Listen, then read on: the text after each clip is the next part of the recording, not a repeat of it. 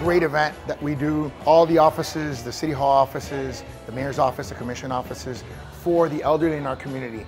Those who have sacrificed so much for our generation to give us an opportunity to be successful. And they've given everything. And so this is our way of saying thank you, of giving back. It's a way of bringing them into community, feeding them, giving them a nice hearty meal where they get to go home uh, towards the holidays with a smile on their face.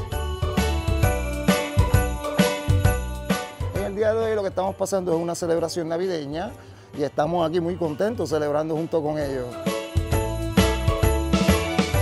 It is wonderful. Everyone is dressed really nice, in a great mood. I know there's delicious food being served.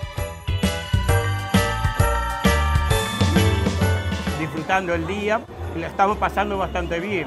Mi papá festejando y compartiendo con toda la gente linda. I'm very joyful and thankful that God allowed me to be alive and to be able to celebrate. Merry Christmas, Feliz Navidad to you.